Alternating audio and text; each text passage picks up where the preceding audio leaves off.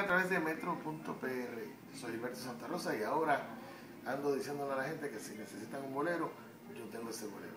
Esta es mi nueva producción, necesito un bolero. Disfrútenla tanto como yo lo disfruté cantando. Saludos,